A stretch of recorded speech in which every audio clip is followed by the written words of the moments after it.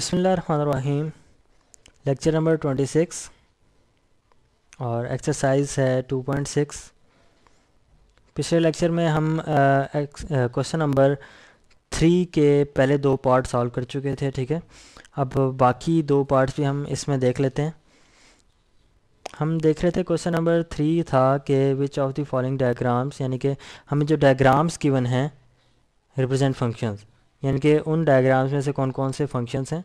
और अगर फ़ंक्शंस हैं तो किस टाइप के फ़ंक्शंस हैं? ठीक है? तो थर्ड पार्ट हम देखते हैं इसका। एक सेट उसमें गिवन है। इस तरह से उसके एलिमेंट्स हैं वन टू और थ्री और दूसरा सेट भी हमें गिवन है, जिसके एलिमेंट्स हैं ए बी और सी ठीक है? और इन दोनों के दरमियान में कनेक्शंस किस तरह से हैं, वो भी मैं ड्रॉ कर देता हूँ। वन का ए के साथ टू का बी के साथ और थ्री का सी के साथ। ठीक है? और इसको हम ऑर्डर पेयर्स में अगर लिखना चाहें तो क्या बनता है? वन ए टू बी और थ्री सी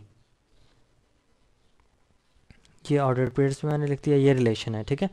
अच्छा अब इसमें यह है कि हमने देखना है कि ये फ़ंक्शन है या नहीं है। तो फ़ंक्शन की कंडीशंस देखते हैं। सबसे पहले कि ये रिलेशन है, बिल्कुल रिलेशन है, ठीक है? पहली कंडीशन सेटिस्फाई है दूसरी कंडीशन क्या है?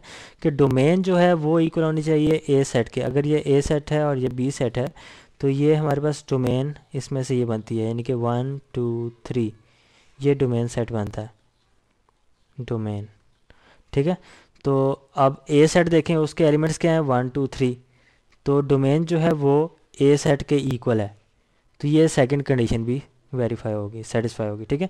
उसके बाद थर्ड कंडीशन क्या है कि पहले एलिमेंट्स जो हैं, वो रिपीट नहीं होने चाहिए, ठीक है? ऑर्डर पेयर्स के। यानी कि ये वन है तो कहीं और पे वन नहीं आना चाहिए। नहीं आया टू भी नहीं है थ्री भी नहीं। यानी कोई एलिमेंट पहला जो है वो रिपीट नहीं हो रहा। मतलब कि तीसरी कंडीशन भी सेटिस्फाई होगी। तो ये एक फ़ंक्शन है। ठीक है? Yes this is a function अच्छा अब फ़ंक्शन है तो किस टाइप का है? किस टाइप का है जी? देखें रेंज को हम देखते हैं अब। ठीक है? रेंज जो है वो किसके इक्वल आ रही है? A B C A B और सी ये रेंज है हमारे पास। मैं आर से डिनोट कर देता हूँ, ठीक है? तो बी सेट किसके इक्वल है? ए बी सी के ही इक्वल है। यानी कि रेंज जो है वो बी सेट के इक्वल है। तो ये कंडीशन किसकी होती है? ऑन टू फ़ंक्शन की कंडीशन होती है। ठीक है? और, इसके अलावा ऑन वन टू वन और ऑन टू की भी होती है। ठीक है? अब देखते हैं कि ये क्या वन टू वन भी है या नहीं है। देखें, अब हर एक डिफरेंट जो एलिमेंट है ए के, उसका इमेज जो है वो डिस्टिंक्ट है, ठीक है? बी के साथ। तो मतलब कि ये वन टू वन भी है।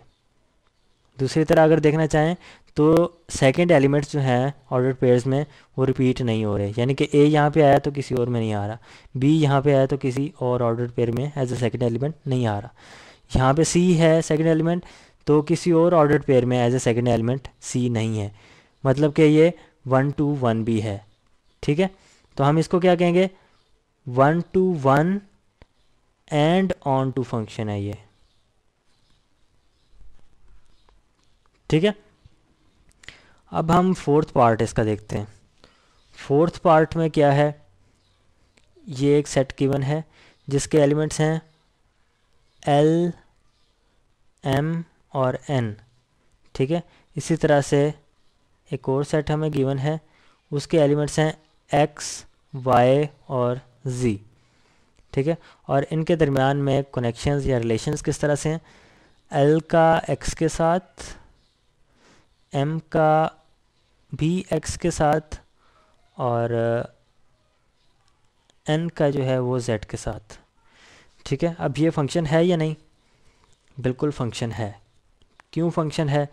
क्योंकि कोई भी रिपीट नहीं हो रहा, दूसरा रिलेशन भी है और डोमेन जो है वो इक्वल है पहले सेट के, ठीक है? तो ये फ़ंक्शन है। लेकिन कौन सा फ़ंक्शन है? अब देखें रेंज को देखें। क्या रेंज बी सेट के इक्वल है? नहीं, क्योंकि रेंज में ये वाई नहीं आ रहा। बी सेट में वाई है, लेकिन रेंज में वाई नहीं आ रहा। आप इसको इस तरह से भी देख सकते हैं।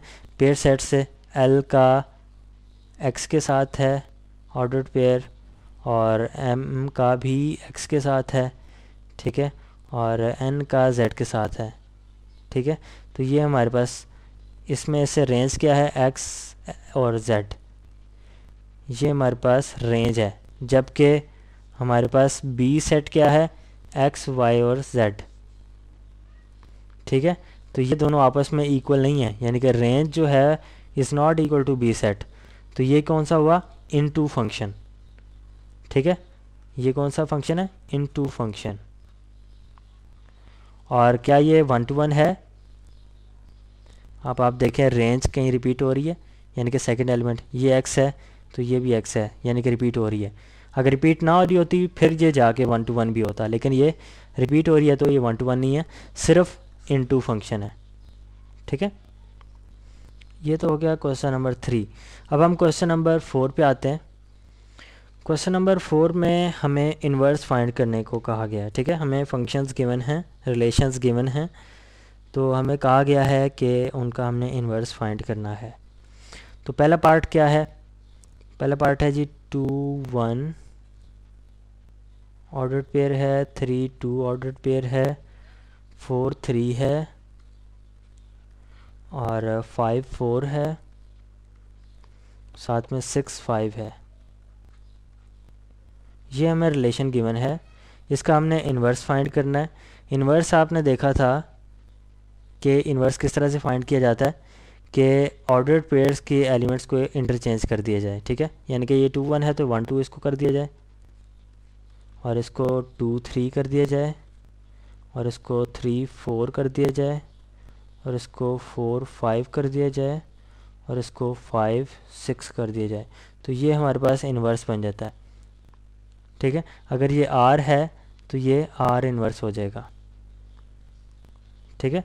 तो इन्वर्स हमने फाइंड कर लिया। उसके अलावा हमें कहा गया है कि क्या ये जो इन्वर्स हमने फाइंड किया कि ये फ़ंक्शन है या नहीं? आप देखें कि फ़ंक्शंस की कंडीशंस क्या होती हैं? एक तो रिलेशन चलें, ये रिलेशन तो है।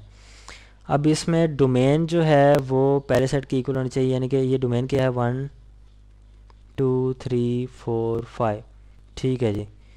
अब आपके पास ये बन जाता है, इसकी ये डोमेन है। ठीक है, डी से मैं डिनोट कर देता हूँ। उसके अलावा थर्ड कंडीशन क्या है कि रिपीट नहीं होनी चाहिए। पहला एलिमेंट रिपीट नहीं होना चाहिए, हर एक ऑर्डर पेयर का। ये वन है, कहीं और पे वन आ रहा है, नहीं आ रहा। ये टू है, कहीं और पे आ रहा है, नहीं आ रहा। ये थ्री है, किसी और ऑर्डर पेयर में एज ए फ़र्स्ट एलिमेंट आ रहा है, नहीं। इसी तरह से फोर भी नहीं आ रहा फाइव भी नहीं आ रहा। मतलब कि थर्ड कंडीशन भी सेटिस्फाई करगी। तो आर इनवर्स जो है वो क्या है? इज़ आ फ़ंक्शन ठीक है? आर इनवर्स जो है वो फ़ंक्शन है। इसी तरह से आप सेकंड पार्ट अगर आप इसका देखें। सेकंड पार्ट में हमें जो रिलेशन गिवन है, वो है वन कॉमा थ्री एक ये ऑर्डर पेयर है। Two comma five three comma seven four comma nine और फाइव कॉमा इलेवन ठीक है, ये हमारे पास रिलेशन गिवन है। ठीक है तो इसका इन्वर्स हम फाइंड करते हैं। इन्वर्स किस तरह आएगा? ऑर्डर्ड पेयर्स के एलिमेंट्स को इंटरचेंज कर दें तो ये बन जाएगा थ्री वन ये बन जाएगा फाइव टू ये बन जाएगा सेवन थ्री ये बनेगा जी नाइन फोर और ये होगा इलेवन फाइव। तो ये हमारे पास इन्वर्स ऑफ़ रिलेशन है, ठीक है? Inverse of relation. अच्छा अब इसको भी हमने चेक करना है कि क्या ये फ़ंक्शन है या नहीं। तो डोमेन देख लेते हैं, ठीक है? रिलेशन तो चले हैं, ये डोमेन देखें डोमेन क्या आएगी? Three five seven nine eleven ये आ गई डोमेन ठीक है जी, ये सेट के इक्वल है फ़र्स्ट सेट के. तो उसके अलावा थर्ड कंडीशन क्या होती है कि रिपीट नहीं होना चाहिए कोई एलिमेंट ठीक है? फ़र्स्ट एलिमेंट तो थ्री कहीं और रिपीट हो रहा है? नहीं. फाइव किसी और ऑर्डर पेयर में एज ए फ़र्स्ट एलिमेंट आ रहा है? नहीं. सेवन भी नहीं आ रहा नाइन भी नहीं आ रहा इलेवन भी नहीं आ रहा. मतलब कि ये भी एक फ़ंक्शन है. R inverse is a function ठीक है? इसी तरह से बाकी दो पार्ट्स जो गिवन हैं, बल्कि बाकी तीन पार्ट्स जो गिवन हैं, वो आप खुद से ट्राई कीजिए. बिल्कुल सेम कंसेप्ट है, ठीक है? सेम स्टेप्स को लेकर चलिएगा तो आप आसानी से सॉल्व करें. वो आपका जो है होमवर्क ऐसे समझ लें. ठीक है? आप वो ख़ुद से प्रैक्टिस करेंगे तो वो सॉल्व हो जाएँगे आपसे. यहाँ पर हम इसको लेक्चर को एंड करते हैं और यहाँ पर हमारी एक्सरसाइज 2.6 भी ख़त्म होती है।